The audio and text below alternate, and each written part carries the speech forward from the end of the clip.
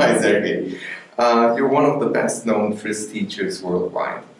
Um, what would interest, uh, interest me is uh, you as a TRIZ master, how did you have your first contact with TRIZ? Mm-hmm. Thank you.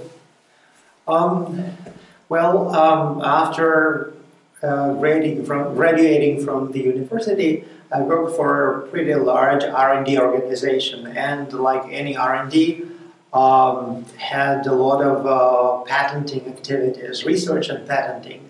So um, I was pretty much involved in uh, uh, inventing, and uh, pretty soon uh, applied uh, for several, submitted several patent applications. Um, in the Soviet Union, there was a pretty interesting support system. Uh, if uh, engineers needed something for their job, the organization could actually send them to obtain an additional degree at the expense of the company. And because uh, I spent quite a lot of time writing patent applications, the head of the patent department asked me if I uh, would be interested in obtaining uh, a degree in patent law. Um, the subject interested me a lot, and uh, I agreed. Another reason uh, that uh, pushed me to uh, agree it was because uh, I got one three-day a week and one month of extra vacation. So that sounded very attractive to me. So I thought for two years to get a master degree in patent law with all these uh, all those conditions would be nice. And one of the subjects that um, uh, that master degree required was different methods of design. That's where first I read about TRIZ, and it really stood out in comparison to all other uh, methods of design. So I started reading more. There were a number of books by Altshuler. Uh, so I got involved, got interested more and more, and in one of the books that I found in the library, there was an advertisement about TRIZ workshops conducted by Altshuler with specific dates and places, so I signed up for this workshop. Now, that was my first Altshuler's workshop that lasted for two weeks um, because I had pretty good relationship with my bosses. Um, they allowed me to go there. Can you imagine a training course for two weeks? Um, so I went there to learn more about TRIZ, and I came back home with uh, full of decision to quit my job and to do only TRIZ because all other things seemed very unimportant and trivial, and TRIZ was like a shining star in the sky. Um, well, probably fortunately, my family didn't allow me to do that. Uh, but uh, um, I started basically hunting uh, the workshops that Altshuler conducted all over the country. So uh, in different cities and every in different places on different topics, different types of workshops. Uh, once it was announced, I was there. So at some point in time, Altshuler noticed because you know the same face at every workshop he conducted.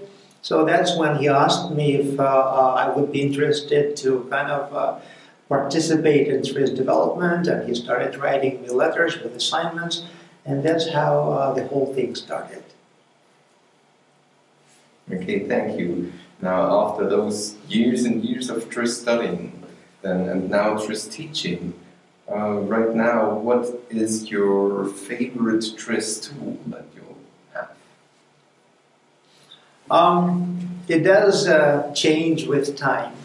Uh, during Altshuler's time, when TRIZ was uh, basically problem-solving tools, uh, my favorite tool was uh, a system of standard inventive solutions. I know it is not perfect, but uh, I really liked it logic, its logic.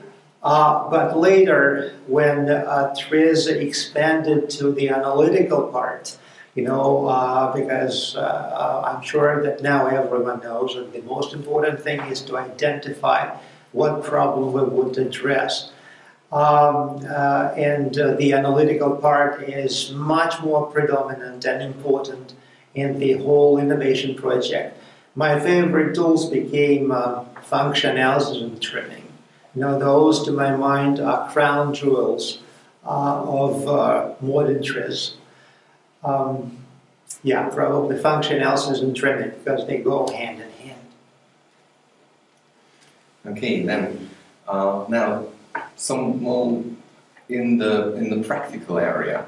Um, most people ask me then, uh, where was TRIZ applied? What was good applicants of, of TRIZ? Which uh, products came from that TRIZ? So you have now years and years of, of applying TRIZ in, in companies. You saw them apply to different projects and processes. What is your best application that you can think of? Um, well, there are two folded kind of answer. If we talk about uh, the methodology, uh, my soft spot is uh, um, you know using TRIZ for different patent strategies because that's uh, kind of how I started research. That's where uh, probably the most practical results obtained by me personally. So as for the methodology, that is my favorite um, application for uh, patent circumvention, for strengthening patents, and so on.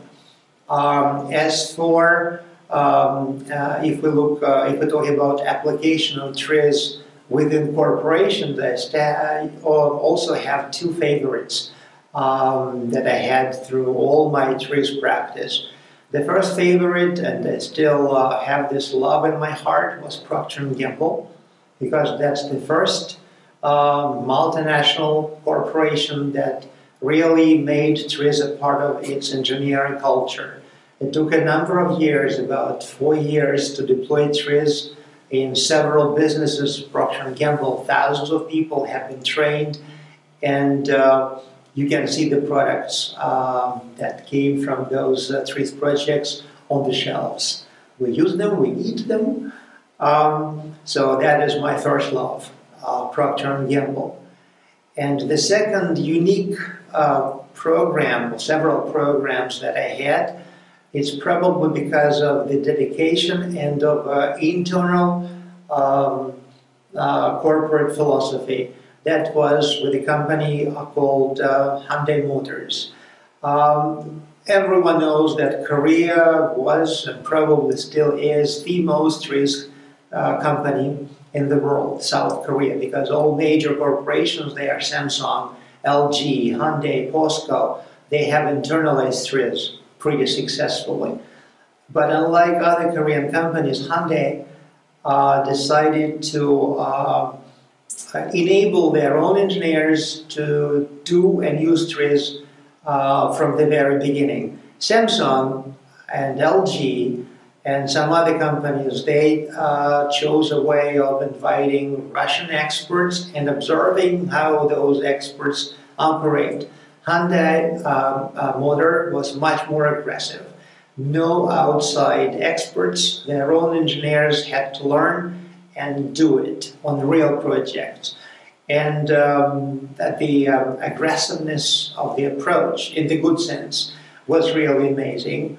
Um, uh, during the first program, uh, uh, the uh, group generated was level 1, 2, and 3 training. The result was more than 80 patents. The second program, the second year, was more than 120 patents. All in all, ROI of those two years exceeded $200 million. And suffice it to say that Hyundai motor, they patent only things that either go to production or are strategically important. They do not patent things just for the sake of patenting. They have very limited budget for that, 1,000 patents a year. That's why they have very, very strict and thorough selection of what they patent. And such uh, an extensive patenting of TRIZ solutions the company generated and implemented in the car uh, really, um, you know, was amazing. So my second love was Hyundai Motors So thank you also for that very nice interview and for those insights in your TRIZ life. Thank you. Thank you.